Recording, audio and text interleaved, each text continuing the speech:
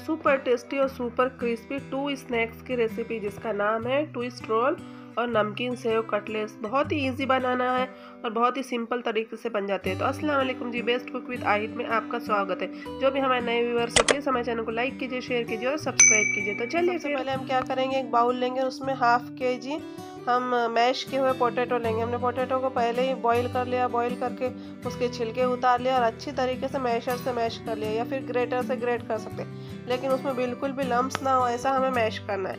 अब यहाँ पर थ्री टीस्पून भरकर हम अदरक, लहसुन और हरी मिर्च का पेस्ट लेंगे। यानी इक्वल क्वांटिटी में हम सारी चीज़ें लेंगे और उसे पीस लेंगे। तीन से चार हरी मिर्च आठ से दस लहसुन की कलियाँ और एक इंच अदरक का टुकड़ा हम पीस लेंगे और थ्री टीस्पून भरकर ले लेंगे। वन टीस्पून इसमें गरम मसाला लेंगे हाफ़ टी स्पून इसमें हम हल्दी पाउडर लेंगे। फिर वन टीस्पून भर के हम साबुत ज़ीरा लेंगे इसमें। वन टीस्पून भरकर हम लाल मिर्च पाउडर लेंगे। लाल मिर्च पाउडर का वही अपने टेस्ट के हिसाब से हम कम या ज़्यादा इस्तेमाल कर सकते हैं और फिर इसमें सॉल्ट डालेंगे। सॉल्ट का वही अपने टेस्ट के अकॉर्डिंग कम या ज़्यादा। फ़िलहाल हम वन टीस्पून इसमें सॉल्ट लेंगे। और फिर हम क्या करेंगे? फोर टीस्पून भरकर हम कॉर्नफ्लावर लेंगे। कॉर्नफ्लावर डालना बहुत ज़रूरी है। बिल्कुल भी इसे रिप्लेस नहीं कर सकते। या हम इसे मतलब कि स्किप नहीं कर सकते, डालना बहुत ज़रूरी है इसमें। और अगर टीस्पून से ना हो टेबल स्पून हो तो टू टेबल स्पून कॉर्नफ्लावर लेंगे। और इसे थोड़ा सा मिक्स करेंगे और मिक्स करने के बाद में हम क्या करेंगे टू से थ्री टेबल स्पून भरकर बारीक कटी हुई संवार लेंगे। वन टेबल स्पून भरकर हम इसमें पुदीना लेंगे, कटा हुआ पुदीना डालना ऑप्शनल है, अगर आपके पास हो तो डाल सकते वरना स्किप भी कर सकते फिर हम क्या करेंगे, इसे अच्छी तरीके से हाथों से मैश करेंगे। फिर इसे हम कहेंगे इसे बहुत अच्छी तरीके से मैश करना है, इसमें बिल्कुल भी लम्स ना। मेक श्योर अगर आप ग्रेटर से करें ना तो ग्रेटर से बहुत ही अच्छा ग्रेट होगा। अब हम मिक्स कर देंगे और साइड में रख देंगे। अब इसका हम डो बनाएँगे। डो बनाने के फिर से बाउल लेंगे, इसमें हाफ़ के जी हम मैदा लेंगे हाफ़ टी स्पून भर कर इसमें हम अजवाइन लेंगे। अजवाइन को हमने अच्छे से हाथों से क्रश कर लिया है और क्रश करने के बाद में इसमें हम अजवाइन डालेंगे। और फिर नमक डालेंगे। नमक का भी अपने टेस्ट के हिसाब से हम कम या ज़्यादा कर सकते हैं। फ़िलहाल हम वन टीस्पून इसमें नमक डालेंगे। टू टेबल स्पून ऑयल डालेंगे। ऑयल का रेशो हमने आपको हर हमेशा समोसों में बताया है कि जैसे ऑयल हम इतना यूज़ करना है कि अगर हम इसकी एक मुट्ठी बनाए डो की तो इसमें जैसे जो बाउल बनता है ना, उस तरीके का अगर हम ऑयल डालने के बाद में हमारे हाथ में बाउल बन गया तो फिर ये परफेक्ट होता है। वैसे हमने बता दिया आपको टू टेबल स्पून ऑयल डालेंगे हम इसमें। और फिर इसमें सादा नॉर्मली जो हमारे पास में वाटर होता है ना, वो वाटर डालेंगे। और इसे अच्छी तरीके से नीट कर लेंगे। लेकिन नीट करना बहुत अच्छी तरीके से नीट करना और एकदम इसका हार्ड डो बनाना है। इसको एकदम बिल्कुल भी नरम डो नहीं बनाना या सॉफ्ट डो नहीं बनाना, एकदम हार्ड डो बनाना और फिर इसकी हम रोटी बना लें। अगर नरम हम इसका डो बनाएँगे तो उसे हमको इस तरीके की जो हम रोटी बनाएँगे ना तो उससे फिर हमें आटा डस्ट करके बनाना पड़ेगा। तो आटा डस्ट करेंगे तो ऑयल में आटा जो है तो एकदम ब्राउन हो जाएगा और ये जो ट्विस्ट समोसे ये जल जाएँगे। तो इसलिए हमें आटे को एकदम हार्ड गूंदना है ताकि हमें इसको जो आटा डस्ट करने की ज़रूरत ना पड़े। इस तरीके से हम इसकी पतली एक रोटी बड़ी सी बना लेंगे। जितनी बड़ी आपके काउंटर पर बनती हो या आपके पास में जो भी हो रोटी बनाने के, उस पर जितनी बड़ी और जितनी पतली बन सकती है, हम बना सकते हैं। और फिर हम क्या करेंगे, जो हमने इसके अंदर समोसे की फीलिंग बना के रखी है ना पोटैटो वाली, वो एक स्पेचुला से अच्छी तरीके से से लगा देंगे। बहुत अच्छी तरीके से हमें लगाना है ऊपर से। थोड़ा सा पानी का हाथ घुमा लेना है तो ये बहुत अच्छी तरीके से चिपक जाती।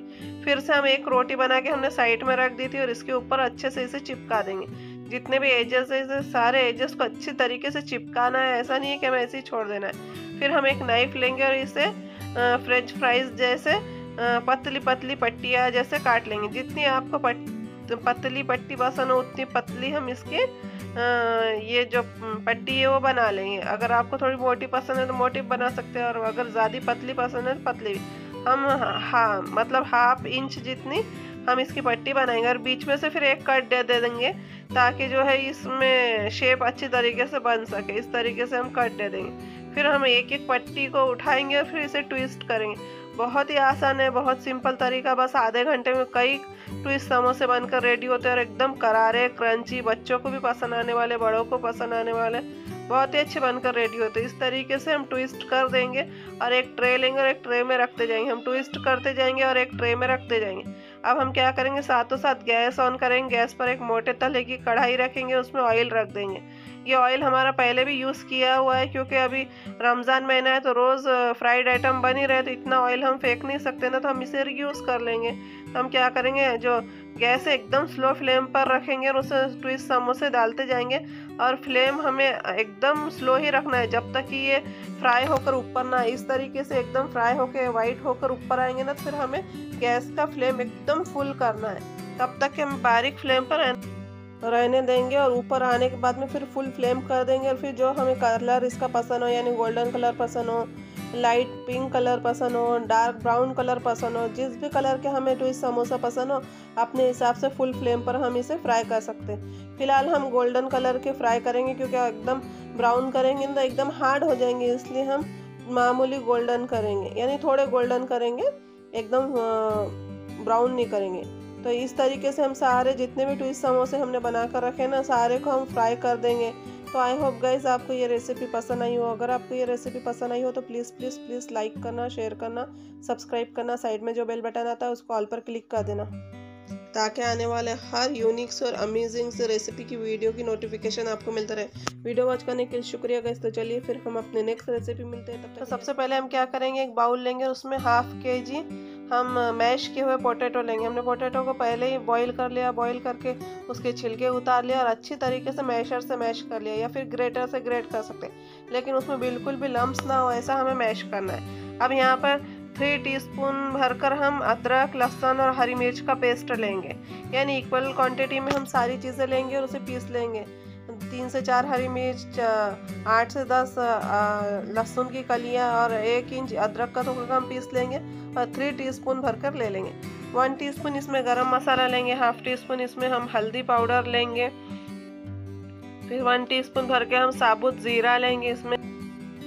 वन टीस्पून भरकर हम लाल मिर्च पाउडर लेंगे। लाल मिर्च पाउडर का वही अपने टेस्ट के हिसाब से हम कम या ज़्यादा इस्तेमाल कर सकते हैं और फिर इसमें सॉल्ट डालेंगे। सॉल्ट का वही अपने टेस्ट के अकॉर्डिंग कम या ज़्यादा।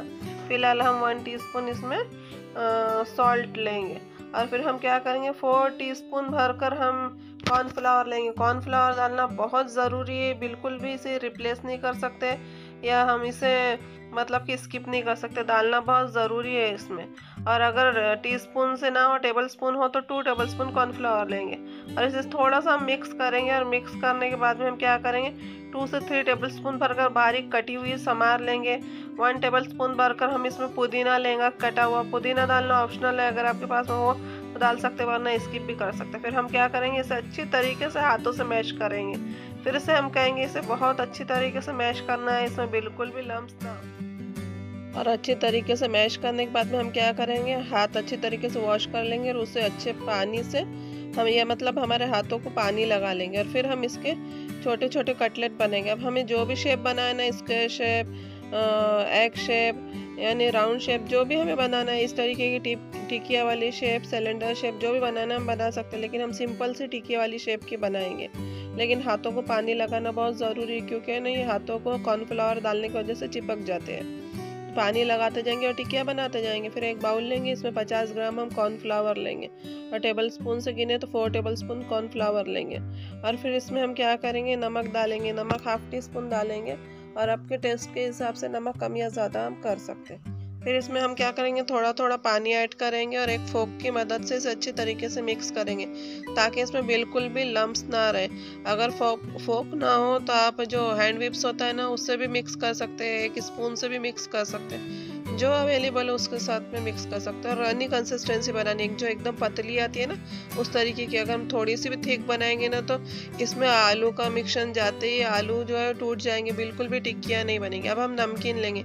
नमकीन हमारे पास में जो भी अवेलेबल हम ले सकते हैं। इस तरीके की जो फीकी आती है, वो ले सकते हैं। जो चटपटी वाली हो, वो ले सकते हैं। थोड़ी मोटी आती है, वो ले सकते हैं। यानी बाहर से लाने का कोई खर्च नहीं, क्योंकि रमज़ान में तो हर किसी के घर में नमकीन अवेलेबल रहती है भेल बनाने के लिए या कोई भी चीज़ बनाने के लिए। तो हम वो इस्तेमाल कर सकते हैं। या फिर ना हो तो फिर पाँच रुपये वाले जो पैकेट आते हैं ना, थोड़ी मोटी नमकीन के, हम वो भी इस्तेमाल कर सकते हैं। फिर हम क्या करेंगे, कटलेट को कॉर्नफ्लावर के बैटर में डालेंगे, ऊपर से हम इसे नमकीन लगाएँगे और नमकीन जो है धीरे धीरे लगाना है, बहुत दबा के नहीं लगाना, दबा के लगेंगे ना तो ये फ्राई करते वक्त ये एकदम उसको चिपक जाएँगे और बिल्कुल भी कटलेट देखने में खूबसूरत नहीं लगेंगे। और हमने क्या किया, सात से आठ कटलेट हम फ्राई करेंगे बाकी के जो बचे हुए हम क्या करेंगे, एक एयर टाइट कंटेनर लेंगे और उसे स्टोर कर लेंगे। जब भी हमारा मन हो जब भी हमें ऐसा लगे कि आज हम कोई चीज़ बनाएँगे नहीं या रमज़ान का टाइम है, कोई दिन इबादत की वजह से टाइम नहीं मिलता तो हम इसे फ्राई कर लेंगे। इसे एक से डेढ़ महीने तक के हम स्टोर कर सकते हैं, लेकिन फ्रीज़र में ही हमें स्टोर करना है इसे। जब भी हमें बनाना है तो रूम टेम्परेचर पर लाएँगे और फिर इसे फ्राई कर लेंगे।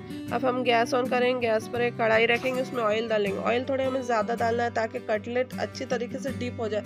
ऐसा हमें शेलो फ्राई नहीं करना डीप फ्राई करना है। इसलिए हम थोड़ा ऑयल ज़्यादा लेंगे और मीडियम फ्लेम पर इसे हमें फ्राई करना है। हम बिल्कुल भी स्लो फ्लेम पर नहीं करेंगे और फा फुल फ्लेम पर नहीं करेंगे। अगर फुल फ्लेम पर करेंगे तो अंदर मतलब फीलिंग में कॉर्नफ्लावर मिला हुआ है ना, ताकि ये जो टिक्की है टूटे ना जैसे कि कटलेट है तो बिल्कुल भी टूटे ना तो कॉर्नफ्लावर अंदर से कच्चा ही रह जाएगा अगर फुल फ्लेम पर करेंगे। तो स्लो फ्लेम पर करेंगे तो ये कॉर्नफ्लावर एकदम जो ऑयल है वो सोक कर लेंगे। तो इसलिए इसे मेक श्योर आप इसे जो है एकदम मीडियम फ्लेम पर फ्राई करो और धीरे धीरे फ्राई करें ताकि अंदर तक के अच्छी तरीके से पक जाए, वरना ये अंदर से कच्ची रह जाएँगी। तो हम इसी तरीके से धीरे धीरे जितने भी हमें कटलेट अभी यूज़ करना है, उतना हम बनाएँगे। हमने सात से आठ कटलेट बहुत ही आसानी से और बहुत ही अच्छे से फ्राई कर लिए।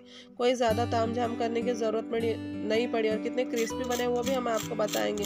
एक टोक की मदद से। बहुत ही अच्छे और क्रिस्पी बनते हैं, ऊपर से और अंदर से जूसी बनते हैं। ना चीज़ डालने की ज़रूरत, ना कोई ऐसी हेवी चीज़ डालने की ज़रूरत। तो भी इतने टेस्टी बनते हैं और इतने अमेजिंग बनते हैं। आई होप गाइज़ आपको ये बहुत ही टेस्टी सी और अमेजिंग सी, एकदम यूनिक से कटलेट की रेसिपी पसंद आई हो। तो प्लीज़ प्लीज़ प्लीज़ लाइक करना शेयर करना सब्सक्राइब करना साइड में जो बेल बटन आता है, उस कॉल पर क्लिक कर देना ताकि आने वाले हर वीडियो का नोटिफिकेशन आपको मिलता रहे। वीडियो वॉच करने के लिए शुक्रिया गाइज़ अल्लाह हाफिज़.